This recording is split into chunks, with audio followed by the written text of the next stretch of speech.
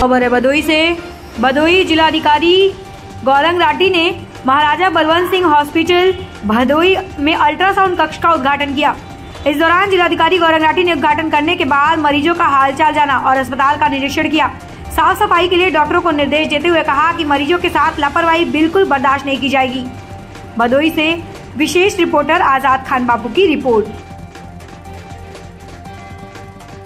महाराजा चेत सिंह का ultrasound centre पहले से कार्यरत था।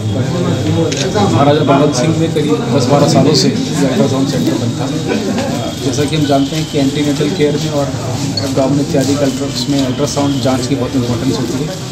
तो भदोई में जहाँ पे हमारा जनसंख्या का घनत्व सबसे ज़्यादा है, वहाँ पर इसका होना बहुत ज़रूरी था। तो आज पूरी स्वास्थ्य टीम ने इसको वापस स्टार्ट करवाया है इसमें जो मशीन में खराबी थी, उसमें टीम को बुलाकर, जिसकी मशीन थी, उससे प्रॉपर मेंटेन करवाया और यहाँ पे रेडियोलॉजिस्ट भी अब हमारे पास हो गए हैं डॉक्टर पांडे, जो रोस्टर बना के दोनों जगहों पे इंश्योर करेंगे कि अल्ट्रासाउंड सेंटर हमारे लगातार प्रभावी रूप से चले और इमरजेंसी में दोनों जगह सर्विसेज़ अवेलेबल रहेगी। अदरवाइज़ रोस्टर लगाकर महाराजा बलवंत सिंह में भी और महाराजा चेत सिंह में भी लोगों के यहाँ पे सर हफ़्ते में दो दिन रहेंगे, सर।